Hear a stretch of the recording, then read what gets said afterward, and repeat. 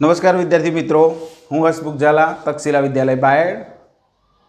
ધોરણ દસના distance learning પ્રોગ્રામમાં આપણું હાર્દિક સ્વાગત છે. ધોરણ દસ, વિષય ગણિત, પ્રકરણ એક, વાસ્તવિક સંખ્યાઓ. આના અગાઉના લેક્ચરમાં આપણે સમય સંખ્યાઓ વિશે જોઈ ગયા હતા. સમય સંખ્યા એટલે શું? તો જે સંખ્યાને પી બાય ક્યુ સ્વરૂપમાં દર્શાવી શકાતું હોય એવી સંખ્યાઓને સમય સંખ્યાઓ કહે છે. છેદમાં q q is not equal to zero હવે સમય સંખ્યાઓ કયા સ્વરૂપે મળી શકે? તો સમય સંખ્યાઓનું દશાંશ નિરૂપણ શાંત એટલે કે પોઈન્ટ પછીના અંકો તમે ગણી શકો. એને શાંત કહીશું. અને અનંત અનંત એટલે કે છેક સુધી, અનંત સુધી. એવું, આવૃત હોય, અનંત આવૃત અનંત આવૃત એટલે શું? શાંત દશાંશ એટલે શું? તો જેનો ભાગાકાર કરતા દશાંશ નિરૂપણના પોઈન્ટ પછીના અંકો ગણી શકાતા હોય, તેને આપણે શાંત દશાંશ કહીશું. જ્યારે એક ભાગ્યા ત્રણ, એક ભાગ્યા ત્રણ કરીએ, તો એકને ત્રણ વડે ભાગો. ભાગ ના ચાલે એને શું? અહીં જીરો ચડાવવાનો, અહીં પોઈન્ટ આવશે. ત્રણ તરી નવ એક વધ્યો જીરો ચડાવો, આવો પોઈન્ટ મૂકવાનો આવશે નહીં. ફરીથી ત્રણ તરી નવ. આવી પ્રોસેસ ચાલુ જ રહેશે. તો એક ભાગ્યા ત્રણ is equal to zero point ત્રણસો તેત્રીસ ડેશ ડેશ ડેશ બરાબર જીરો પોઈન્ટ ત્રણ ઉપર ટપકું મૂકતા હતા આપણે અગાઉના ધોરણોમાં. આવી જે રકમ છે એને કહીશું અનંત આવૃત. આ પણ મિત્રો સમય સંખ્યા છે. સમય સંખ્યા જેને પી બાય ક્યુ અંશ ભાગ્યા છેદ. સ્વરૂપે દર્શાવી શકાતી હોય તેવી સંખ્યા. એને આપણે સમય સંખ્યા કહીશું? હવે મિત્રો, તમને દશાંશ નિરૂપણ આપેલું હોય એવી સંખ્યાઓને પી બાય ક્યુ સ્વરૂપે કઈ રીતે દર્શાવી શકાય તે વિશે જોઈએ. ફરીથી જોઈ લઈએ કે સમય સંખ્યાઓ અને તેનું દશાંશ નિરૂપણ કેવા સ્વરૂપે હોય? તો સમય સંખ્યા કોને કહેવાય? જે સંખ્યાને p by q q is not equal to zero સ્વરૂપમાં દર્શાવી શકાતી હોય, તે સમય સંખ્યા છે. સમય સંખ્યાઓનું દશાંશ નિરૂપણ શાંત અથવા અનંત આવૃત હોય છે. ઉદાહરણ જોઈએ આપણે. નીચે વાસ્તવિક સંખ્યાઓનું દશાંશ નિરૂપણ દર્શાવેલ છે. તેને પી અપોન ક્યુ સ્વરૂપમાં દર્શાવો. પહેલી રકમ લઈએ છે ઝીરો પોઈન્ટ ત્રણસો પંચોતેર. તો મિત્રો તમે જોઈ શકો છો કે ઝીરો પોઈન્ટ ત્રણસો પંચોતેર છે, એના પોઈન્ટ પછીના અંકો કેટલા? તો એક, બે અને ત્રણ. પોઈન્ટ પછી ત્રણ અંકો છે. પછી કોઈ રકમ નથી. તો મતલબ કે તમે આને આના પોઈન્ટ પછીના અંકો ગણી શકો છો. એટલા માટે એને કહીશું આપણે શાંત દશાંશ નિરૂપણ. આ શાંત દશાંશ નિરૂપણ એને પી બાય ક્યુ અંશ ભાગ્યા છેદ સ્વરૂપે કઈ રીતે લખી શકાય? તો મિત્રો, સૌથી પહેલાં આપણે આને છેદમાં દસના ગુણકમાં લખીશું. એટલે કે ત્રણસો પંચોતેર ભાગ્યા કેટલા થશે? એક હજાર થશે. તો બરાબર ત્રણસો પંચોતેર ભાગ્યા દસનો ઘન સ્વરૂપે લખી શકાય. આ પણ મિત્રો પી બાય ક્યુ સ્વરૂપ છે. પણ આપણે જોઈ શકીએ છીએ કે અંશ અને છેદ બંનેને પાંચ વડે ભાગી શકાય છે. તો મિત્રો, અંશ અને છેદના અવિભાજ્ય અવયવ લઈએ. ત્રણસો ને પંચોતેર, એના અવિભાજ્ય અવયવ પાડીએ. તો પાંચે ભાગ ચલાવીએ, એકમનો અંક પાંચ હોવાથી. પાંચ સાત આ પાંત્રીસ, સડત્રીસમાંથી પાંત્રીસ જશે. કેટલા વધશે? બે. ઉપરથી ઉતાર્યા પાંચ. એટલે પચીસ થયા. પાયું પાયું, પચીસ. હજુ મિત્રો આપણે એકમનો અંક પાંચ છે. કઈ સંખ્યાએ ભાગ ચલાવીશું પાંચે પાંચ એકા પાંચ. સાતમાંથી પાંચ જાય. બે. ઉપરથી ઉધાર્યા પાંચ. પચીસ. પાયું પાયું, પચીસ. હજુ પણ એકમનો અંક પાંચ છે. તો પાંચ તરી પંદર. અને ત્રણે કેટલા આવશે? એક. તો ત્રણસો પંચોતેર અંશના અવયવ. ત્રણસો પંચોતેરની જગ્યાએ આપણે શું લખીશું? ત્રણ ગુણ્યા પાંચનો ઘન. એ જ રીતે છેદમાં જુઓ મિત્રો. જેના છેદમાં દસ કે દસના ઘાતાંક સ્વરૂપે હોય, એનું દશાંશ નિરૂપણ શાંત જ હોય. દસ કઈ રીતે બન્યા? તો બે ગુણ્યા પાંચ એનો હોલઘન તો મિત્રો એ જ આગળ જતો છેદના ઘાતાંકને છૂટો પાડીએ, તો ત્રણ ગુણ્યા પાંચનો ઘન ભાગ્યા બેનો ઘન ગુણ્યા પાંચનો ઘન. તો વિદ્યાર્થી મિત્રો, તમે જોઈ શકો છો કે અંશ અને છેદમાં પાંચનો ઘન શું થશે? ઉડી જશે. તો આપણા જોડે વધ્યું શું? બે, સોરી, ત્રણ ભાગ્યા બેનો ઘન. બરાબર, ત્રણ ભાગ્યા આઠ. તો જે જીરો પોઈન્ટ ત્રણસો પંચોતેર દશાંશ નિરૂપણ સ્વરૂપે હતા, શાંત દશાંશ નિરૂપણ સ્વરૂપે, એનું પી બાય ક્યુ સ્વરૂપ કેટલું થશે? ત્રણ ભાગ્યા આઠ. આ દશાંશ નિરૂપણ છે, આ પી ભાગ્યા ક્યુ આ પણ સમય છે અને આ પણ સમય છે. હવે આગળ જોઈએ, નંબર બે. નંબર બેમાં આપેલું છે જીરો પોઈન્ટ એકસો ચાર. અહીં પણ તમે મિત્રો જોઈ શકો છો કે પોઈન્ટ પછી કેટલા અંકો છે? ત્રણ. તો આનું દશાંશ નિરૂપણ શાંત કહેવાય કે અનંત કહેવાય? તો આપણે કહીશું શાંત. શાંત દશાંશ નિરૂપણ સંખ્યા સમય સંખ્યા છે, જેને પી બાય ક્યુ સ્વરૂપે લખવી હોય તો લખી શકાય. જોઈએ. એકસો ચાર ભાગ્યા કેટલા લખાશે? એક હજાર. હજુ એકસો ને ચાર ભાગ્યા દસનો ઘન. હવે આપણે એકસો ચારના અવિભાજ્ય અવયવો પાડીશું. તો એકસો ચાર એના અવિભાજ્ય અવયવ પાડીશું. એકમનો અંક કેટલો છે? ચાર. જે યુગ્મ છે, બેકી સંખ્યા છે, એટલે કઈ સંખ્યાએ ભાગ ચલવીશું? બે. બે પંચા દસ, બે દુ ચાર. હજુ બે ભાગ ચાલશે. બે છવ્વીસ દુ બાવન. બે તેર. તેરે એક. તો એકસો ચારના અવિભાજ્ય અવયવો થશે. તેર ગુણ્યા બે કેટલી વખત? બેનો ગન ભાગ્યા. દસ કઈ રીતે બન્યા? પાંચ ગુણ્યા બે એનો હોલગન તો બરાબર તેર ગુણ્યા બેનો ગન ભાગ્યા પાંચનો ઘન ગુણ્યા બેનો ઘન. પણ મિત્રો, અહીં જોઈ શકો છો કે અંશ અને છેદમાં શું સરખું આવ્યું? તો બેનો ઘન શું થશે? ઉડી જશે. તો બરાબર તેર ભાગ્યા પાંચનો ઘન. હજુ આપણે આગળ જઈએ. તો બરાબર તેર ભાગ્યા પાંચનો ઘન. એટલે કે પાંચ ગુણ્યા પાંચ ગુણ્યા પાંચ. પાય પાય. એકસો પચીસ પંચા સોરી ભાઈ ભાઈ પચીસ પચીસ પંચા, એકસો ને પચીસ.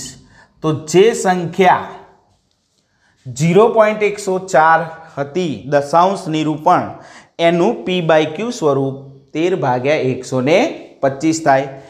આ પણ સમય છે દશાંશ નિરૂપણ શાંત છે અને આ સંખ્યા એક પી અપોન ક્યુ સ્વરૂપ. તો મિત્રો ખ્યાલ આવ્યો? કે જેનું દશાંશ નિરૂપણ શાંત હતું, એને આપણે સમય સંખ્યા કહીશું. અને એવી સમય સંખ્યાને પી બાય ક્યુ સ્વરૂપે રજૂ કરી શકાય. હવે, નંબર ત્રણ જોઈએ. નંબર ત્રણ. જીરો પોઈન્ટ જીરો આઠસો ને પંચોતેર. તો વિદ્યાર્થી મિત્રો પોઈન્ટ પછીના કેટલા અંકો છે ગણો? પોઈન્ટ પછીના એક, બે, ત્રણ, ચાર. તો પોઈન્ટ પછીના અંકો ગણી શકાય છે. માટે તેનું દશાંશ નિરૂપણ કેવું થશે? શાંત કે અનંત? તો આપણે કહીશું શાંત. તો શાંત દશાંશ નિરૂપણ હોય તો આઠસો પંચોતેર ભાગ્યા એકની પાછળ કેટલા મીંડા આવશે? ચાર. હજુ આગળ. આઠસો પંચોતેર ભાગ્યા દસનો ચારઘાત થશે. હવે આ પણ પી બાય ક્યુ સ્વરૂપમાં છે. પરંતુ છેદ ઉડાડતો એનું પી બાય ક્યુ સ્વરૂપ કયું આવે? તો આપણે આઠસો પંચોતેરના અવિભાજ્ય અવયવો પાડીશું. આઠસો પંચોતેરમાં એકમનો અંક કયો છે? તો કહીશું પાંચ. તો પાંચે ભાગ ચલાવીએ. પાંચ એકા પાંચ, આઠમાંથી પાંચ જાય તો ત્રણ, સાડત્રીસ, પાંચ, સાત, પાંત્રીસ. સાડત્રીસમાંથી પાંત્રીસ જશે તો બે, ઉપરથી ઉતાર્યા પાંચ, પચીસ, પાયું પાયું, પચીસ. ચલો, હજુ પાંચે. પાંચ તરી પંદર, બે વધ્યા, ઉપરથી ઉતાર્યા પાંચ, પચીસ, પાયું પાયું, પચીસ. પાંચે સાત. સાતે એક. તો સાત ગુણ્યા પાંચનો ઘન ભાગ્યા. પાંચ ગુણ્યા બે એનો ચાર ઘાત તો સાત ગુણ્યા પાંચનો ઘન ભાગ્યા. આનો ઘાતાંક છૂટો પાડીએ તો પાંચનો ચાર ઘાત ગુણ્યા બેનો ચાર ઘાત તો પાંચના ત્રણ ઘાતમાંથી અંશમાં પાંચનો ત્રણ ઘાત, છેદમાં પાંચનો ચાર ઘાત તો મોટો ક્યાં? છેદમાં. તો સાત ગુણ્યા પાંચનો ઘન ભાગ્યા પાંચ ગુણ્યા પાંચનો ઘન ગુણ્યા બેનો ચાર ઘાત. તો પાંચનો ઘન પાંચનો ઘન શું થાય? ઉડી જશે? છેદ ઉડશે? તો આપણા જોડે વધીશું. સાત ભાગ્યા પાંચ ગુણ્યા બેનો ચાર ઘાત. તો સાત ભાગ્યા પાંચ ગુણ્યા બેનો ચાર ઘાત કેટલો? સોળ. બરોબર? તો આનું દશાંશ સોરી પી બાય ક્યુ સ્વરૂપ સાત ભાગ્યા સોળ પંચા એંસી. તો જીરો પોઈન્ટ જીરો આઠસો પંચોતેરનું પી બાય ક્યુ સ્વરૂપ સાત ભાગ્યા એંસી થાય. દશાંશ નિરૂપણ આપેલું હતું. એનું પી બાય ક્યુ સ્વરૂપ સાત અપોન એંસી. જુઓ મિત્રો, આ રીતે આપણે જે સંખ્યાઓનું દશાંશ નિરૂપણ શાંત હોય તેને પી બાય ક્યુ સ્વરૂપમાં કવિ, કેવી રીતે દર્શાવી શકાય તે જોયું.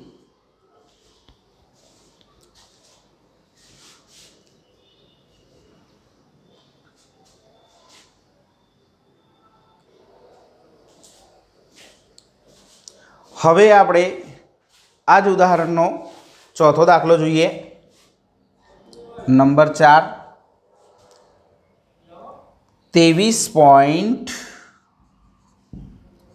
ચોત્રીસ જીરો આઠ.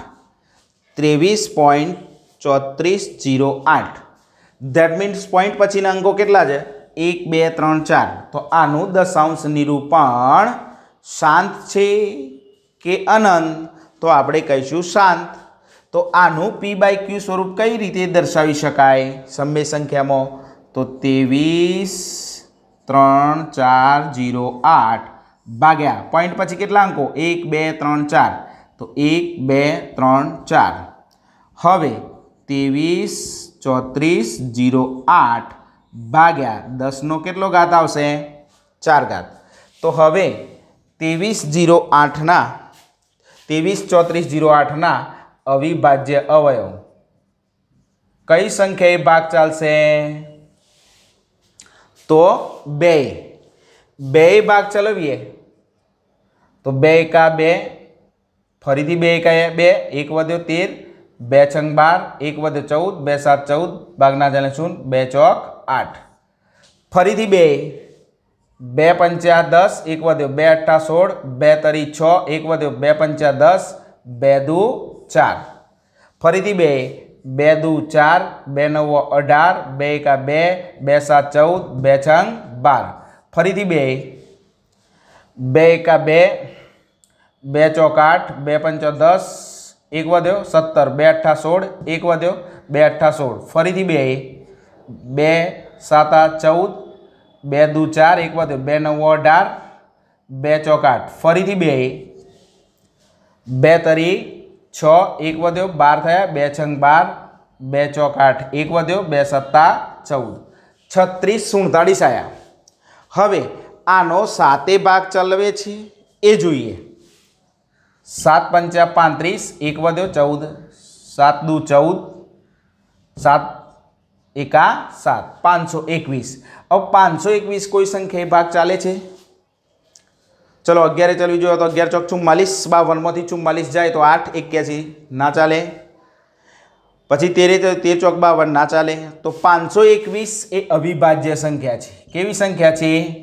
અવિભાજ્ય. તો આપણે જે ત્રેવીસ, ચોત્રીસ, જીરો આઠ દેટ મીન્સ બે લાખ તેત્રીસ હજાર ચારસો આઠ, ના અવિભાજ્ય. બે કેટલી વખત? એક, બે, ત્રણ, ચાર, પાંચ, છ. તો બેનો કેટલો ઘાત? છ ઘાત. ગુણ્યા સાત. ગુણ્યા પાંચસો ને એકવીસ. ભાગ્યા. દસનો ચાર ઘાત. તો દસના અવયવ. બે પંચા દસ, એનો ચાર ઘાત. તો બેનો છ ઘાત, ગુણ્યા સાત, ગુણ્યા પાંચસો એકવીસ. ભાગ્યા. બેનો ચાર ઘાત, ગુણ્યા પાંચનો ચાર ઘાત. તો અંશમાં વધારે છે ઘાતાંક બેનો અને છેદમાં બેનો ચાર ઘાત તો બેનો વર્ગ ગુણ્યા બેનો ચાર ઘાત ગુણ્યા સાત ગુણ્યા પાંચસો એકવીસ ભાગ્યા બેનો ચાર ઘાત ગુણ્યા પાંચનો ચાર ઘાત તો બેનો ચાર ઘાત શું થશે? ઉડી જશે. હવે વધ્યું કેટલું આપણા જોડે? બેનો વર્ગ એટલે કે ચાર ગુણ્યા સાત ગુણ્યા પાંચસો ને એકવીસ ભાગ્યા પાંચનો ચાર ઘાત હવે આપણે ગુણાકાર કરીએ. હવે આપણે ગુણાકાર કરીએ. તો કેટલો મળશે? સાત ચોક અઠ્યાવીસ, પાંચસો એકવીસ. ગુણ્યા અઠ્યાવીસ. એકમ દશકની શું આવશે? બે એકા બે બે દુ ચાર, બે પંચા, દસ. આઠે. આઠ એકા, આઠ આઠ દુ, સોળ. વધી પડી એક. આઠ પંચો ચાલીસ ને એક, એકતાળીસ. તો આઠ આઠ, પાંચ, ચૌદ. ચૌદ પાંચસો ઇઠ્યાસી. તો અહીં આગળ ચૌદ પાંચસો ઇઠ્યાસી ભાગ્યા. પાંચનો ચાર ઘાત. ભાઈ ભાઈ પચીસ પંચો એકસો પચીસ પંચો. છસો ને પચીસ. તો જે સંખ્યા ત્રેવીસ પોઈન્ટ ચોત્રીસ ઝીરો આઠ દશાંશ નિરૂપણ શાંત હતું, એનું પી બાય ક્યુ સ્વરૂપ ચૌદ હજાર પાંચસો ઇઠ્યાસી ભાગ્યા છસો પચીસ થશે. ખ્યાલ આવ્યો વિદ્યાર્થી મિત્રો?